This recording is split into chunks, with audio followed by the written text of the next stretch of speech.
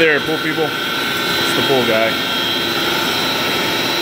This morning, I am exercising some motors. Pretty cold today. Well, at least for Texas, it's cold. So making sure that the motors aren't going to seize up on me. I've got some uh, high chlorinated water going through the system right now. Just uh, ensuring that I don't have a uh, blow up of some algae in the pipes. So cleaning everything out, exercising the motors. I've got them at full blast. I'm not running them all right now because I don't have the pool completely full. All these are 50 horsepower motors.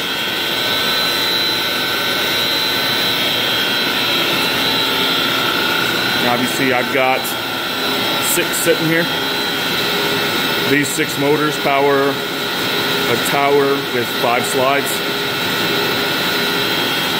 I've got one slide that's a toilet bowl, so it requires water at the start tub at the top, and of course in the bowl it has a uh, it need, has a need for water as well.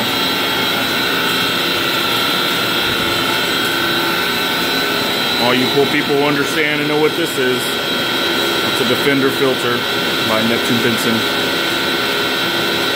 This is actually running my uh, the same filter or same uh, pool that I'm pulling all this water out of.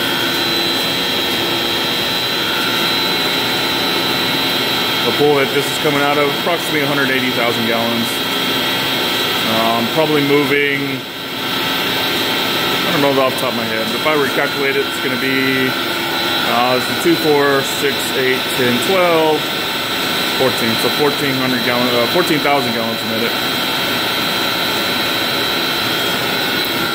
Take a quick walk so you can see the surge pit.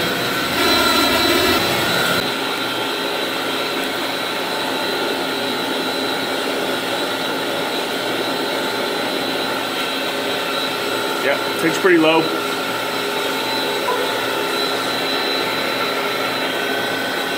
Definitely shouldn't be that low. Highly chlorinated, I can smell it, which is good.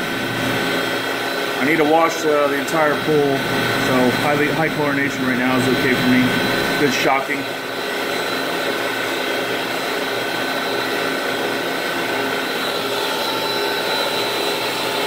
So that's my return from the uh, from the pool itself. 30 inch main line, main drain actually makes it nice because I don't have a lot of turbulence turbulence in the uh, in the surge pit itself. Can see I'm about about nine inches too low in the tank, so that means about nine inches too low in the pool. Probably put some fresh water in today. Give it some time to fill back up.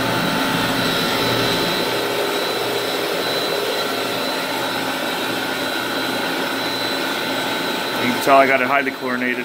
Pool's even a little cloudy. pH is probably going to be a little high too right now.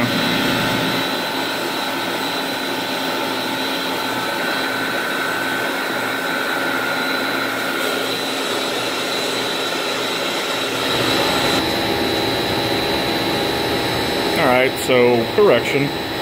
These are 40 horsepower motors. These are Tech Top, uh, pushing an Aurora pump. If you're a pool person, you know exactly what Aurora is. Good pumps, good impellers. We'll probably bust these open, take a look at the uh, the volute, make sure it's in good shape. And here's why. If you notice, I uh, I don't have catch baskets before the pump. It is what it is. You know, do what you can do nonetheless, good motor, good pump, does well.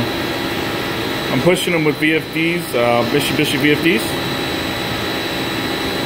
Some of these, uh, some of these pumps are uh, running at, uh, let's say, 80% capacity. I'm uh, able to do that with the VFD itself. I don't have to throttle down. So all these valves, all my valves here, are open 100% and the bottom 100%. We only throttle down using the VFD itself, which is really nice because then I can save my motor. I don't have to, you know, it's not gonna hurt anything too much. Um, some of my other motors in the other uh, pump houses, I, I do throttle down um, with the valves.